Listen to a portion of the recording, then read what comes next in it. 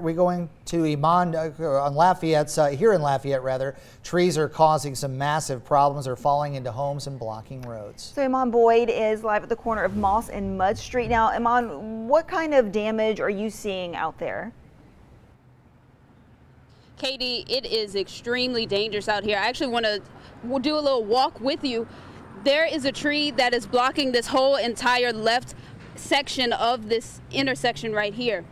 And just to give you an indication of how dangerous this is, I want, uh, Seth, if you can turn the camera around and show, we actually saw several cars try and pass on this intersection and having to move around and get around this tree.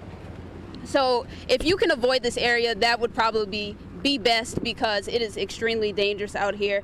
And we're we're not sure if city officials have come and assessed this damage but if you can avoid this area that would be best. And we're not sure how long this tree has actually been out here. Now another thing I want to point out too after the hurricane there is a strong humidity here. Uh, we've only been out here for probably about 15, 20 minutes and it's extremely hot. We actually saw a couple people trying to walk and look at the tree and everything, but if you can stay at home, that would probably be best. You should not be on the roadways and, you know, getting into this type of damage. Wait until city officials assess all of the damage that is around the north side and around Lafayette. So I'll send it back to you guys. Imana, you are um, near Mudd Avenue and Moss Street. You know, to get there, what other damage have you seen, you know, in driving over there?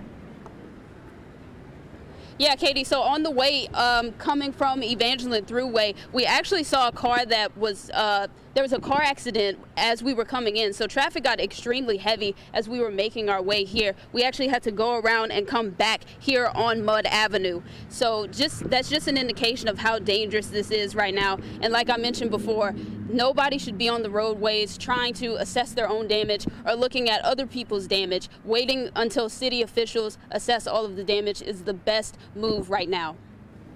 All right, Eman. Eman, have you got a chance to talk to some of the residents? Are they able to get, you know, help each other up there? Um, we actually saw a couple out here. Their house is uh, actually right here, Seth. Um, they were out and they were saying they've been out of power for a while and they actually noticed this tree here earlier this morning and they were just astonished. And seeing that people are still on the roadways trying to actually pass here is not a good idea. They actually haven't left their home and they're advising other people to do the same thing. They've been living here for quite a while and they've never seen any type of damage on this street right here. So again that's just another indication of how dangerous and how powerful hurricane delta was when it made landfall last night all right, thanks. That's uh, Eman Boyd reporting live here in Lafayette.